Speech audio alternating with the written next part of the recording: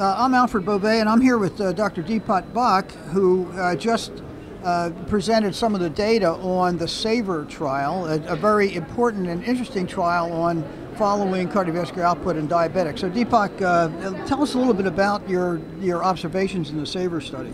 Sure. Well, in a nutshell, SAVOR TIMI 53 was a large cardiovascular outcome study in diabetic patients, 16,492 patients with diabetes and either established cardiovascular disease or multiple risk factors randomized to saxagliptin, a DPP4 inhibitor, that's uh, an agent that reduces glucose, or to placebo and followed for an average of 2.1 years.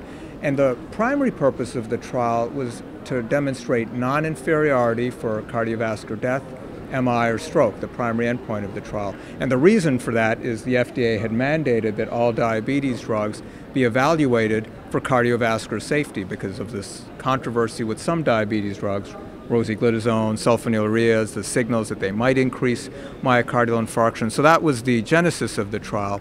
And uh, indeed, we examined that endpoint and found no excess risk of myocardial infarction. The hazard ratio for the primary endpoint I mentioned was 1.00, so uh, no evidence of increased heart attack risk. Likewise, no evidence of cardiovascular benefit either, but you know, an intermediate term follow-up. So, in, in the studies that we've we've seen before, where there was some signal but not definite proof of a cardiovascular uh, uh, adverse outcome, Uh, the trials were designed around diabetic output, glucose levels or A1C levels, and I think what we've learned is we've got to go beyond that.